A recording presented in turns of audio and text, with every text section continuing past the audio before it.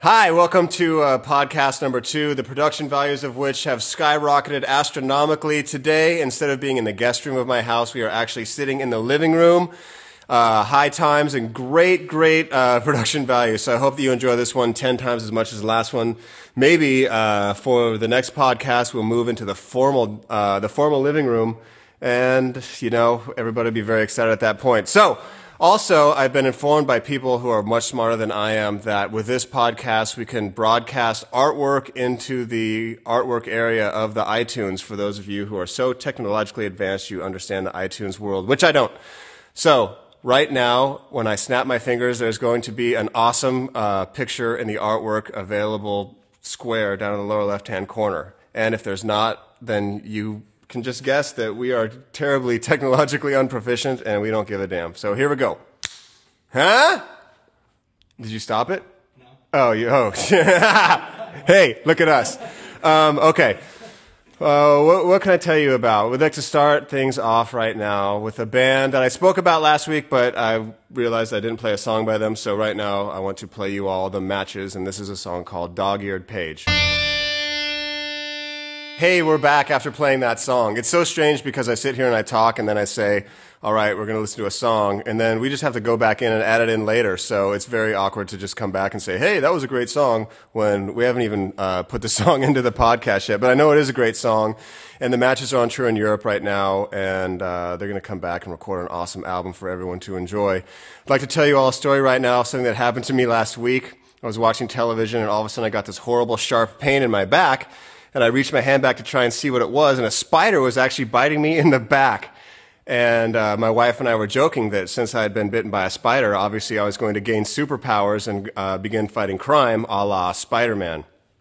Then the next day, I'm at lunch enjoying a nice, uh, probably a veggie burrito with uh, cheddar cheese and avocado, as I'm apt to do during the week at a high powered business meeting. Enjoying my lunch uh, in Los Angeles. And walking into the restaurant is Stan Lee, creator of Spider-Man.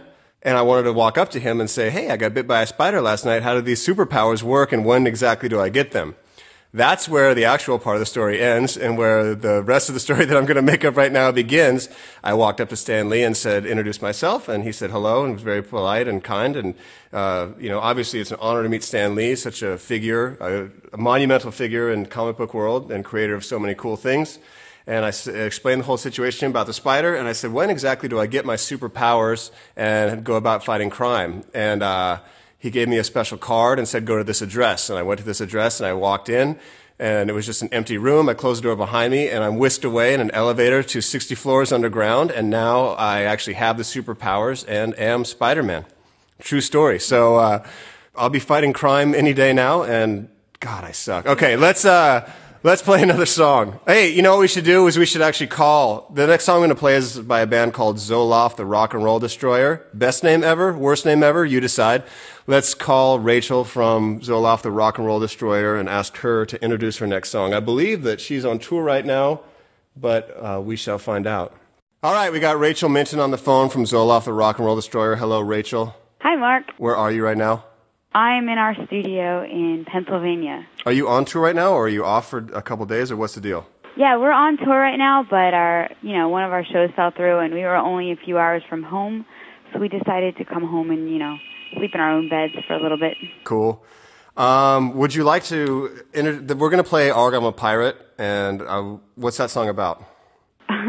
what that song's about being, um, you know, a little devilish, I guess. okay, I just don't even know how to respond to that. This is all going to be edited out so that I sound like I know what the fuck I'm doing. Um, what else, Brett? What else would you like to talk about, Rachel? Anything before we play the song? Um, well, we have that on our Popsicle EP, so. Yeah, and you can buy that on the iTunes store or in your local record shop. Yes, or on our website even. Or on your website. Oh, check it out. Uh, we are very high tech and we are adding artwork to the podcast. So uh, right now as I snap my fingers, there's going to be artwork on there. How cool is that? Amazing. Uh, all right. Well, thanks for talking to us and have fun on tour. And this is your song. Actually, I'd love it if you'd introduce it, please. Okay, definitely. Um, this is the Love Rock and Roll Store, and the song is Arg, I'm a Pirate.